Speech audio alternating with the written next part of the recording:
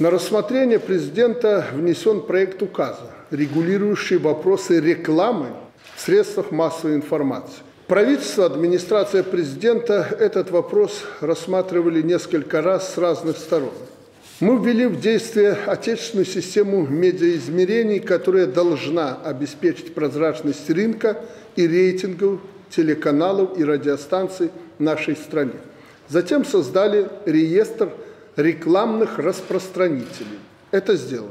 Сегодня ситуация поменялась кардинально. В результате нынешнего геополитического конфликта на Россию, а заодно и на Беларусь, обрушили новый шквал грабительских санкций. В этой ситуации что мы будем делать, что должны сделать? Есть ли у нас реальные инструменты поддержки СМИ в сложившейся ситуации? Я хотел бы услышать ответы на эти вопросы, прежде всего от министра информации. Он у нас в этом плане специалист, хороший специалист, пропагандист, как вы это часто говорите. Правда, я только не понимаю, что вы паритесь по этому поводу. Пропаганда она была, есть и будет всегда. Только надо пропагандировать не фейки там и разную дребедень. Понимаете, мы в уникальной ситуации. Единственное, можно сказать, пусть не обидятся другие из всех цивилизованных стран, которые прилично выглядят.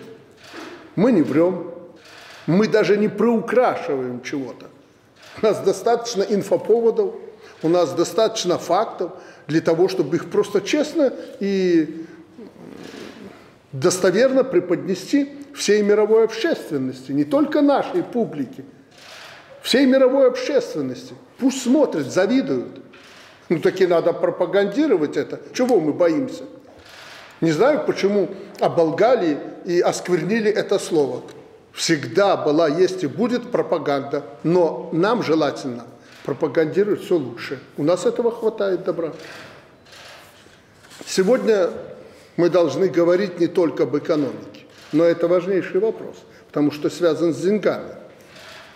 Я не устану повторять, любая поддержка может быть оказана только под конкретный план развития. И если мы примем решение, э, вы должны понимать, я вам честно и искренне говорю, пока вы не исчерпаете свои возможности зарабатывать, до тех пор не обращайтесь к бюджету.